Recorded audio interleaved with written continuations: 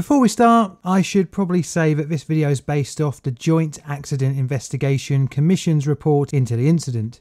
There has been subsequent theories into the cause of the disaster stemming from more recent discovery of a hole in the ship's starboard side of its hull and more modern 3D scanning of the vessel's resting place. The theories have surmised that the cause could have been an explosion or even a collision with a submarine. Right, with that disclaimer out of the way, here's the video.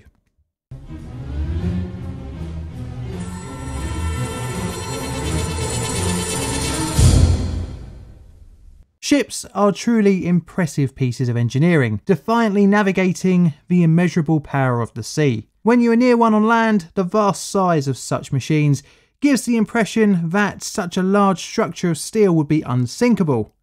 But as history has proven, this is most certainly not the case. And the cruel, merciless sea can swallow such vessels and hundreds of lives aboard.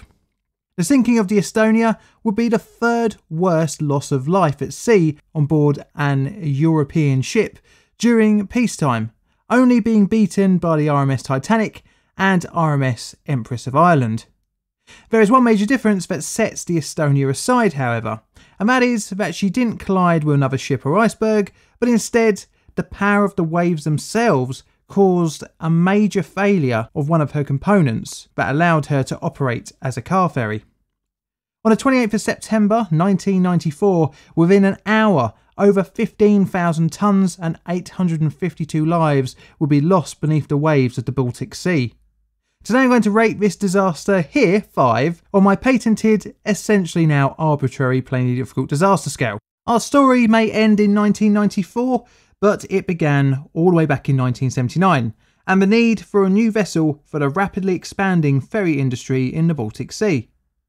A contract was signed for a new ferry on the 11th of September 1979 and was set to be built by Meyer Werft in Papenburg, Germany.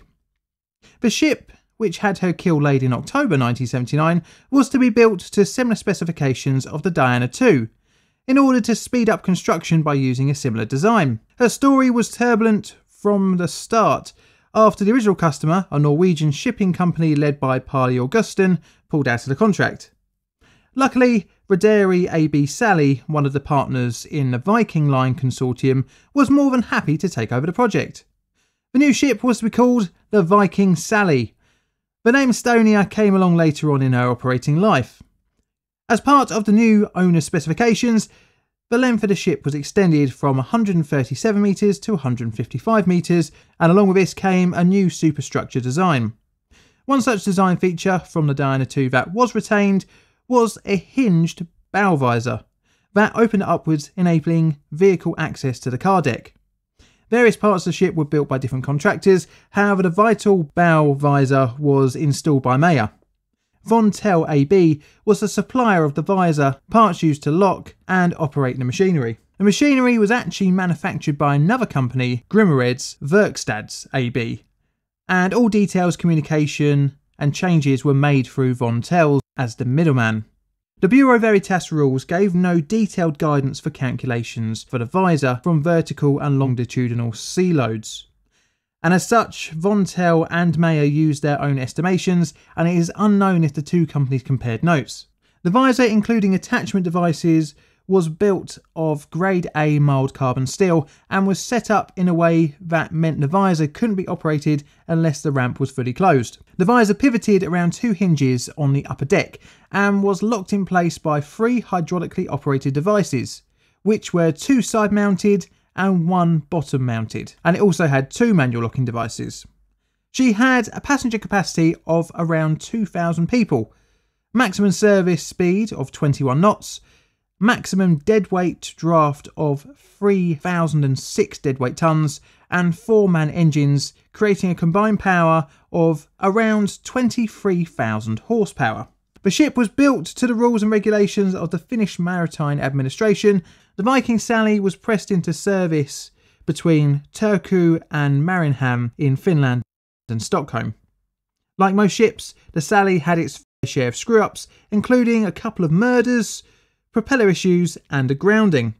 Her owners, Rederi AB Sally, were experiencing financial difficulties towards the end of the 80s and were sold to the Finnish Swedish group EffJohn, but still operated under the Viking line under her original name. She did fully come under the control of her new owners in 1990 when she was painted in Silja Line's colours, renamed the Silja Star, but remained on the same route. The new name would only last a year or so until she was transferred to the Wasa Line, another subsidiary of the EffJohn Group, and was placed in the Wasa Line operation in the Gulf of Bothnia. For the new operations, she was now called the Wasa King in 1991. That was until the 14th of January 1993, when she would change flags from Finland, which she was originally delivered, to the flag of Estonia. This coincided with a new owner, the Estline Marine Company Limited, and a new name, the MS Estonia. She was pressed into service on the Tallinn Stockholm route. At the time, she was the largest ship in the Estonian National Fleet and became a symbol somewhat of the country's independence after the dissolution of the Eastern Bloc. Right, that leads us to 1994 and the Estonia departing from Tallinn on the 27th of September 1994 at 7:15 p.m. for a scheduled voyage to Stockholm and her estimated time of arrival was 9am on the 28th of September. She carried 989 people, 803 of whom were passengers, leading to the remaining 186 being crew. Upon clearing the harbour, all four engines were powered up for full speed and she began her journey. Sea conditions along the Estonian coast were moderate, but became worse when she joined the open waters. The weather continued to worsen, with winds increasing to 15 to 20 metres a second, causing 2 to 4 metre high waves, which crashed across the Estonia's bow. As the ship got thrashed around, some passengers became seasick. At around 25 past 12 in the morning, and at a speed of about 14 knots, the vessel encountered the crashing on her port bow. At around one o'clock in the morning, a metallic bang from the bow area as the vessel hit a heavy wave was heard from the car deck by a member of the crew. The crew member informed the bridge of the strange noise. After inspecting the indicator lamps, all seemed well. The ship did not slow down after the reports, and the crew on deck didn't make use of a CCTV link to the car deck to investigate the area of the loud bang. Roughly about the same time, a shift changeover happened on the bridge, and soon after, another report of a loud metallic bang from the bow came in at around 105. The seaman of the watch was sent down again to inspect the visor, but just 10 minutes later, the visor separated from the bow and tilted over the stern. The ramp was pulled open, allowing water to surge into the car deck. The water caused a heavy starboard list, and at the same time dramatically slowing the ship down. Estonia's distress beacons had to be activated manually, which the crew failed to release. Throughout the ship, panic set in amongst the passengers, with many attempting to rush up the staircases, although many were still trapped inside their cabins.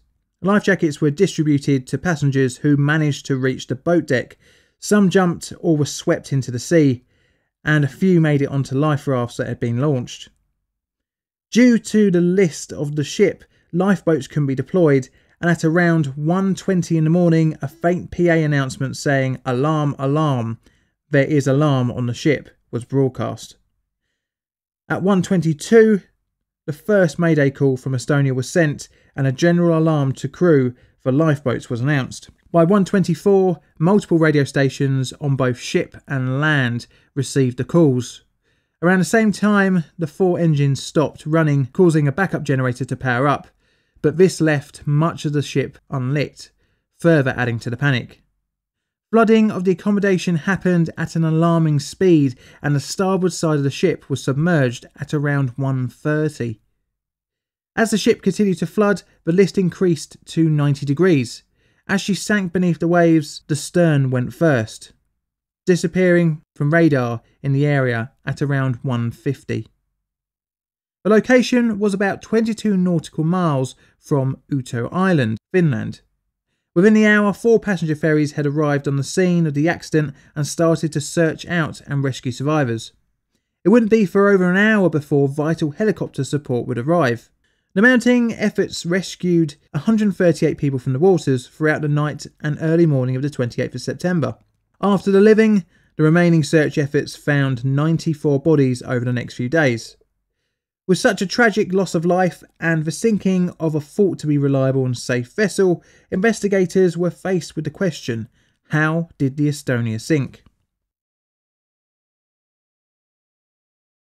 Most of the victims went down with the ship to the seabed. She was found in international waters on the 30th of September within Finland's search and rescue region, resting on the seabed at a water depth of around 80 metres. It was vital that the cause of the sinking be found, as the Estonia was one of many similar ships operating in the region. With reports of noise from the bow visor hinting at a failure point, a remotely operated vehicle survey was decided on to ascertain the ship's general condition and whether the bow visor had become detached. During early October, the ROV made several videotapes of the wreck and the results were shocking. During investigation into the sinking, it was found that the bow visor and ramp had been torn off as it failed to resist the power of the waves hitting against it. The first metallic bang heard around 1 o'clock in the morning was thought to have been the sound of the visor's lower locking mechanism failing, and other reported noises were the visor flapping against the hull as the other locks failed. As a cruel twist of fate, the mounting bracket for the locking bolt position sensors appeared to be undamaged. This meant that even after failure, there was no warning to the bridge of the now open visor. This was even more compounded by the design of the bridge, which was too low to have a line of sight to the visor, meaning there was no way of seeing the state of the visor, even after the catastrophic failure. During the investigation, another incident a year before was highlighted, which would have been a vital warning sign. In 1993, the Diana II, Estonia's kind of sister ship, had experienced a visor locking failure as the starboard locking device lug was lost.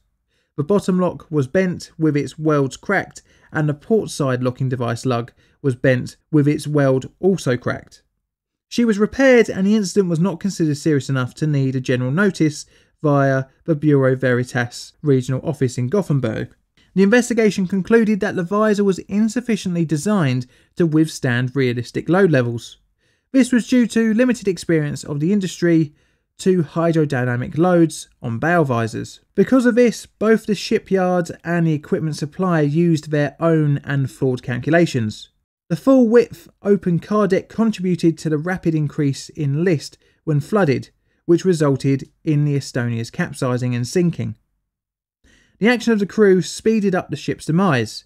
If they had used the CCTV link to the car deck, they would have been able to see the water rapidly flooding in. This, coupled with the slowing down of the speed of the ship after reports of strange sounds, could have slowed or even prevented the sinking. Sounding the alarm aboard the ship and the seemingly lack of direction of the crew was highlighted by the investigators and was thought to be a contributing factor of the panic by the passengers. The loss of the Estonia held a mirror up to the shipping industry in the region, necessitating new vessels from 2010 to be able to withstand their car deck being flooded up to 50 centimetres. All ships post accident had to be modified to release their emergency beacons automatically, and life raft regulations for rescue from listing ships in rough water were introduced. But that is little consolation to the 852 that lost their lives that September night. Thanks for watching, I hope you enjoyed the video. This video is a Plain Difficult production. All videos on the channel are Creative Commons Attribution Share Alike licensed. Plain Difficult videos are produced by me, John, in a sunny southeastern corner of London, UK. Help the channel grow by liking, commenting and subscribing. Check out my Twitter for all sorts of photos and odds and sods, as well as hints on future videos. I've got Patreon and YouTube membership as well, if you fancy supporting the channel financially. And all that's left to say is thank you for watching.